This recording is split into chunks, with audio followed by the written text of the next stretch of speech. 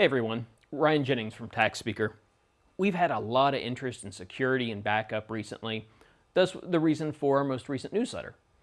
I wanted to go over once more, real quickly in a video form our four different backup modes, as well as a little more detail about the fourth one.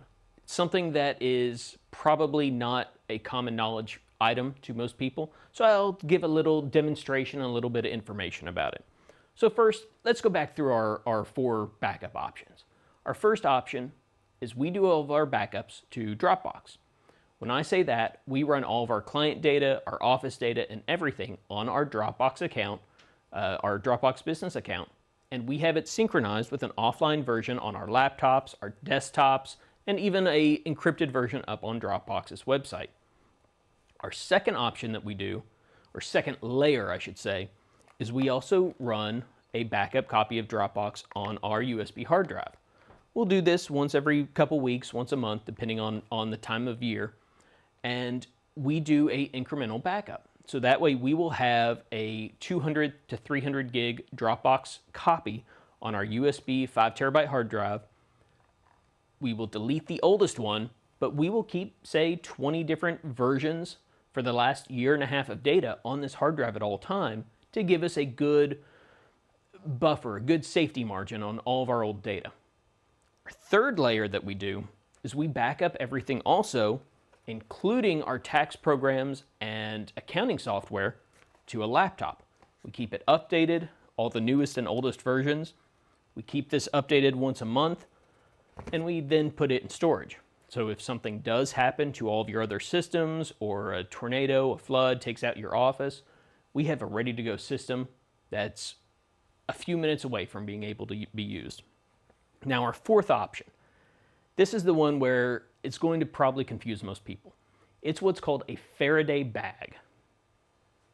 The Faraday bag, which we have a video on how it is used and why it is used, is basically a mesh metal container to block out all the wireless signals that you will have in your office. For example, in our office here, we have a couple different wireless access points. We have tenants upstairs with their own wireless access points. We have Bluetooth phones, Bluetooth headphones. We have uh, the wireless uh, credit cards. We have uh, key fobs for our security on our doors. There's wireless all over the place here. What these bags will do is they block all the wireless signal from getting to any of the devices inside. This sounds kind of gimmicky, I know, but there is a practical side of it.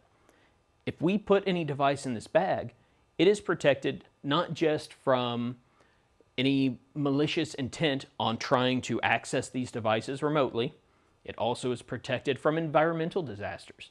Say a lightning strike, something as crazy as a solar flare, it, it really just gives us an extra layer of protection. We also like to put these bags inside of a safe to give us some extra layer of fire and water protection so we're protected from as much as we can. But just to prove that, that this is not just a, a, a gimmicky item that we're trying to, to show you, we have our own little wireless sensor. This will test for the amount of power that is in the air from ra radio signals all around. We took this sensor and our laptop bag up to, uh, up to my house out in the woods where there's very little signal. Let me just show you the video real quick and you can see the effectiveness of, of something like this. So we started with the laptop all sealed up and the sensor, which I know was, was out of focus, was reading 1.58.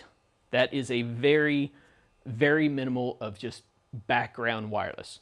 There's a cell phone tower not too far. Now when I pull out the laptop and turn it on, the sensor goes from 1.5, 1.6 to immediately going up to 400, 700. That just shows you how much wireless output the laptop is doing as soon as it turns on.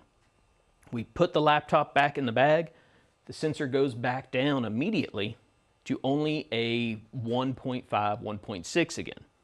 You can see that it really did block all the different wireless signals leaving the laptop. It does just as good blocking the wireless signals going into the laptop, be it something as crazy as a solar flare or a, a random wireless hacker trying to get into your devices, it'll protect against all of those. Add this onto our existing backup suggestions for data security, then we really do feel like this brings an extra layer of peace of mind to your office. We have these at taxspeaker.com. You can go there for more information. For now, thank you for, from Tax Speaker. I'm Ryan Jennings. Have a good one.